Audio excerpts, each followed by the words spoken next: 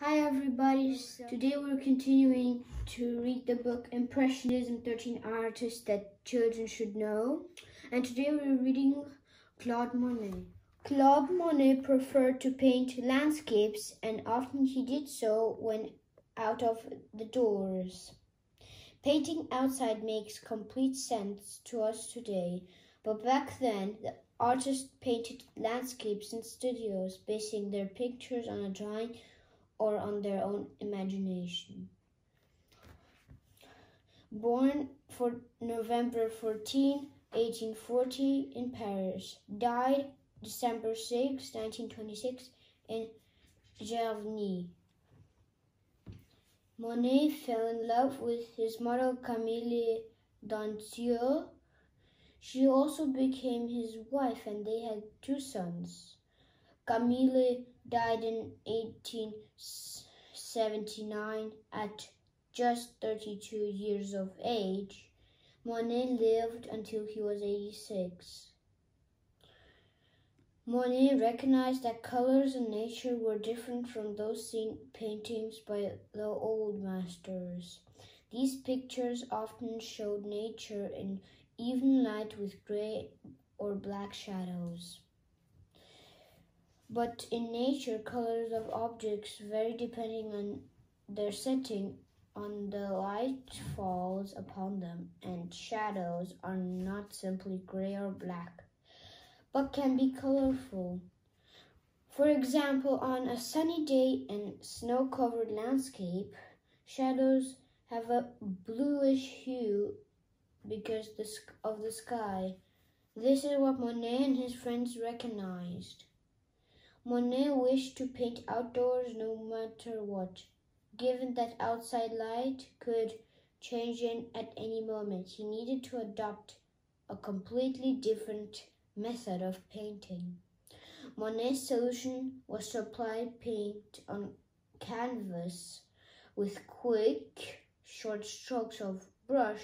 Detail did, did not interest him as much as the overall effect and the impressionism got from seeing the picture. For these reasons, he called his best known painting Impressionism Sunrise. It shows a harbor sense uh, in the morning mist.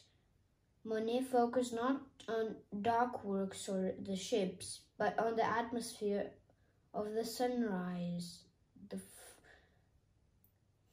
sunrise through the fog.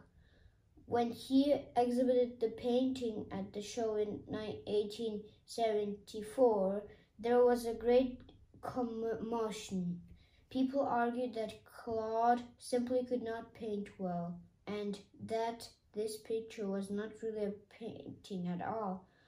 For Monet, though it was. Imagine, and I'm going to show you. This is this Impressionism rise right over here and about it 1872 Musée Marmottan in Paris and Robert stole this and eight other paintings from the museum in 1985. It was not recovered until five years later.